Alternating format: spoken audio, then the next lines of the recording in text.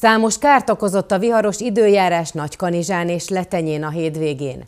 Az erős széllökések vármegye szerte éreztették negatív hatásukat. A területi tűzoltóegységeket számos esetben riasztották kidőlt fákhoz, leszakadt vezetékekhez. Szombaton a Vármegye területére a legmagasabb besorolású úgynevezett vörös riasztás volt érvényben az Országos Meteorológiai Szolgálat döntésének értelmében.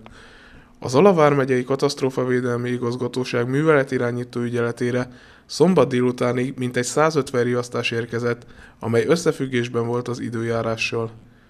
A tűzoltóknak főként fákat kellett eltávolítaniuk az utakról, de leszakadt vezetékek és megrongálódott épületek is jellemezték a területet. A szél leginkább a nagykanizsai, a letenyei és az alakarosi hivatásos, valamint a vései, a letenyei, a Szőkedencsi, a Murakeresztúr és a Mihádi önkéntes tűzoltóknak adtak munkát, akik szinte kivétel nélkül mindenhol kidőlt fákat távolítottak el az úttestről. A Pannon Egyetem Nagykanizsa Körforgásos Gazdaság Egyetemi Központ udvarán egy fenyőfa vált a vihar áldozatává, de a szél éreztette hatását a Városkapu és a Magyar utcában is, valamint a csónakázótó melletti erdőségekben is letört ágakat és kidőlt fákat láthattak a járókelők.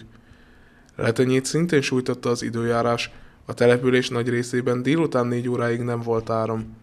Farkas Szilárd polgármester stábunk ott járt, akkor értesült arról, hogy az elektromos ellátás helyreállt a városban.